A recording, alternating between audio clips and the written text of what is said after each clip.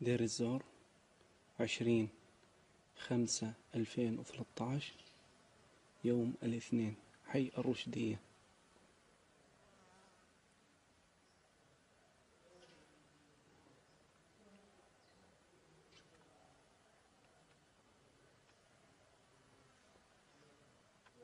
نشاهد الدمار في الحي نتيجة القصف الهمجي لعصابات الأسد.